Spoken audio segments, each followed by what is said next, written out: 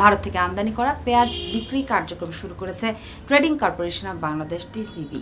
চল্লিশ টাকা কেজিতে বিক্রি করা হচ্ছে এসব পেঁয়াজ। সুপ্রিয় দর্শক, টিসিবি কর্তৃক এই পেঁয়াজ বিক্রি কার্যক্রম নিয়ে এবার একটি বিশেষ প্রতিবেদন।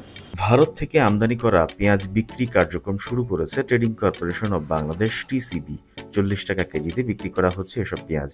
মঙ্গলবার দুই এপ্রিল রাজধানীর টিসিবি ভবনের সামনে এ পেঁয়াজ বিক্রি কার্যক্রম উদ্বোধন করেন বাণিজ্য প্রতিমন্ত্রী আহসানুল ইসলাম টিটু। পিসিবির চল্লিশ টাকা কেজি দরে খোলা বাজারে পেঁয়াজের যে বিক্রয় কার্যক্রম আনুষ্ঠানিকভাবে শুভ উদ্বোধন ঘোষণা করছি।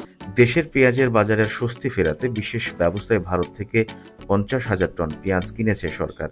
আমরা ভারতের, ভারতকে প্রাধান্য দেই, কারণটা হলো যোগাযোগের জন্য। ট্রাকে আসা যায়, ট্রেনে আসা যায়। আমরা কিন্তু বিকল্প ব্যবস্থা, যেমন আমরা মিয়ানমারের সাথে অলরেডি একটা চুক্তি করতেছি, মিয়ানমারের বর্ডার দিয়েও আসবে। রাশিয়ার সাথে আমরা গমের চুক্তি করছি। ব্রাজিল সাত আট তারিখে আসবে, তাদের মেইন হলো র সুগার এবং সয়াবিন তেল। তাদের সাথে কথা বলতেছি। ইন্দোনেশিয়া, মালয়েশিয়ার সাথে পাম অয়েলের ব্যাপারে কথা বলতেছি। টিসিবি জানিয়েছে, এই বিক্রি কার্যক্রম ঢাকার একশো তিনটি চট্টগ্রামের পঞ্চাশটি গাজীপুরের পনেরো থেকে বিশটি স্পটে চালানো হবে।